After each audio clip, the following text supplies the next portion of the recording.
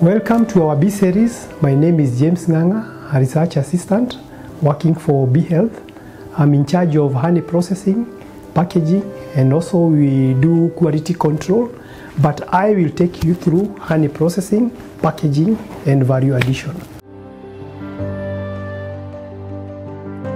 Once you receive honey from the farmers, you may require to have an extractor, that is uh, the manual extractor, so that, so that after harvesting, you are able now to extract your honey and save energy for your bees.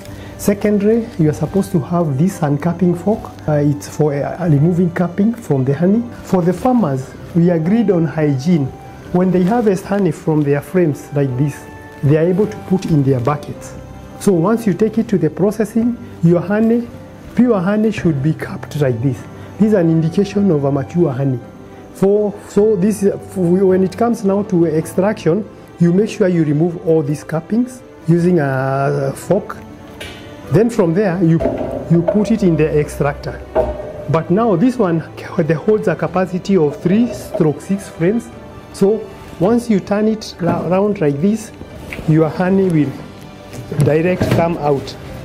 So the only thing here is the centrifugal power.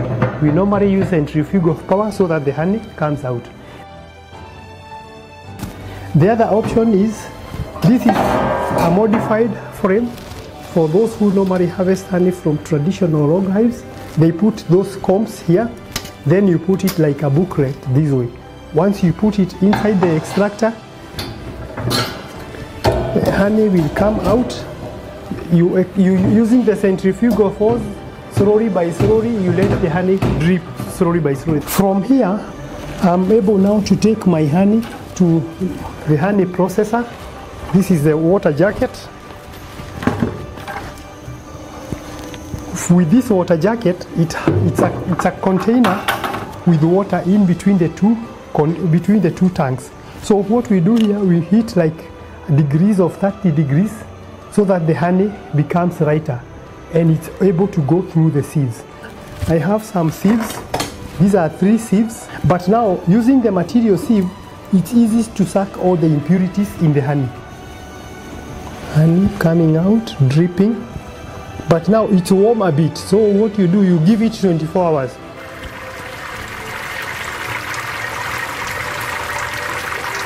This, all this junk will pass through the sieve, but through the material, you are still left with, with some, uh, some of the, the impurities. And that's why we normally use two materials. If it goes through the first one, it will go through the last one. And by the end of the day, once it goes through the, the, the two materials, you, you, are, you, are, you are left with gold honey, green honey, which has, not, which has nothing like materials. This process of heating is very sensitive because you don't, if you overheat your honey, you are going to destroy all the enzymes.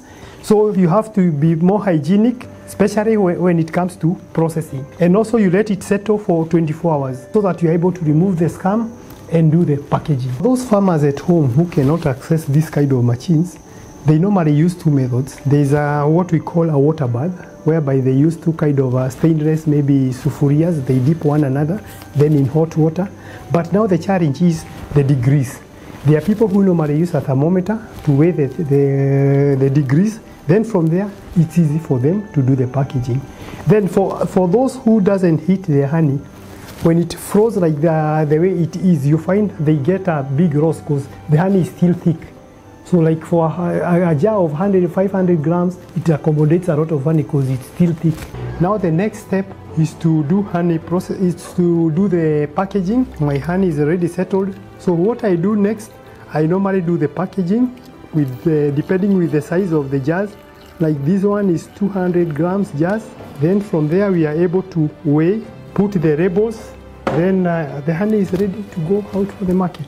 Honey which has been processed, you can either sell it as a pure honey. This is a pure processed stingless bee honey from our farmers in Kakamega Forest. But you can also flavor your honey. What we use as flavor are mostly cinnamon, it can be uh, clove, it can be lemongrass, all these are products which uh, have a certain medicinal value. Honey is said also to have some good property in maintenance of the skin.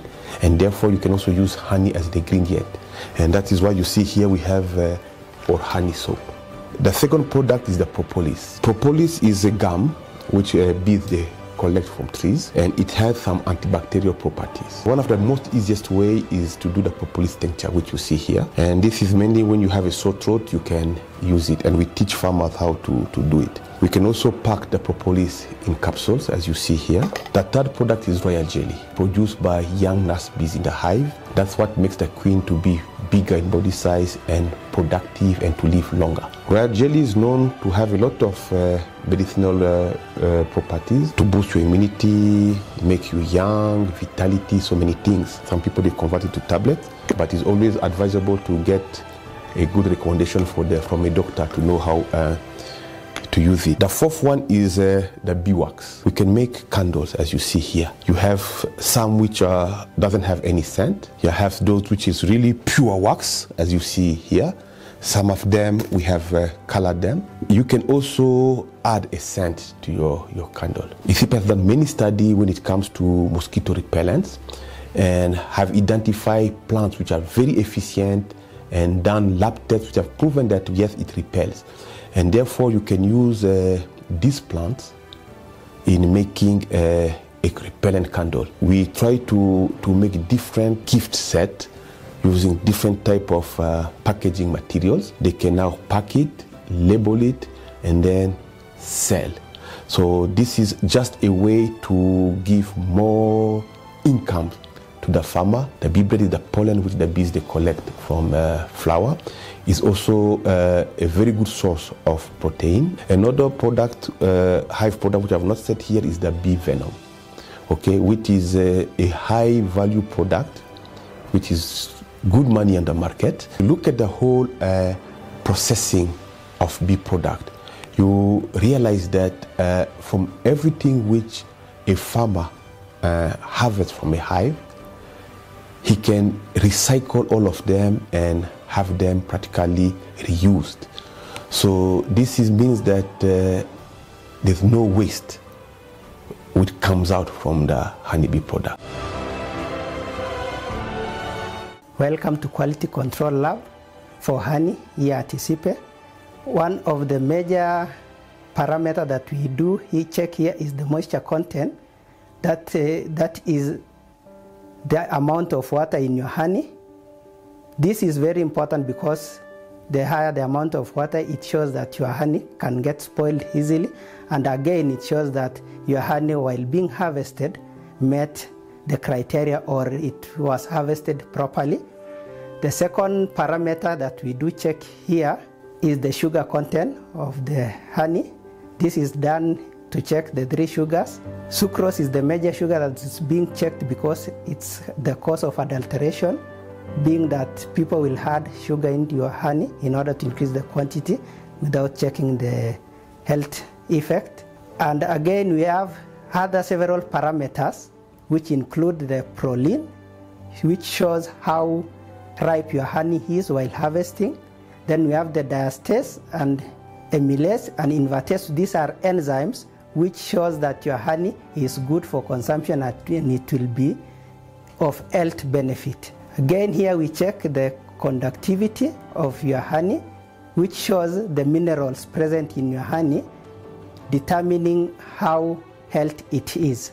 Honey has got physical properties which differ in different honeys based on where the honey was collected, and the collection site is being surrounded by different vegetations which infer the different colors that we might have in our honeys. This is from a single plant called Dombeya. Being from a monofloral plant, this means that the color will be uniform. Another honey which has a different color but is from the mixed shrubs. The mixed shrubs infer the color because of the different flowers that the honeybee visits. The darker honey doesn't mean that it's good or it's bad just that the color is as a result of the kind of the bees and the plants that it has visited. When it's being stored, it will undergo processes which are normal. For example, crystallization is something that people tend to think it's a bad process, but honey crystallizes because of the sugars present in it, For example, here we have our honey having two layers, the upper one, which is the fructose, and the lower one, which is the glucose, and it's the normal. It means that our honey is good. The two sugars having different properties separate. That's why we have the crystallization. Different honeys have uh, different viscosity, but this viscosity is being checked by the moisture content, which should be less than 21%. The, the moisture content being less than 21% infers a specific thickness to your honey, which means lighter honey is not good, and it shows that it has been adulterated by addition of water, or it was being harvested when it was rainy season, which means it was okay, but they harvested at the wrong time. And beside the honey being thick, there are other honeys being produced by stingless bees which have higher moisture content. They will not be thicker as compared to the honeys from the honey bee because of the nature of the flowers being visited by the stingless bees. This marks the end of our episode on honey processing and quality control. Look out on our next episode and remember to subscribe.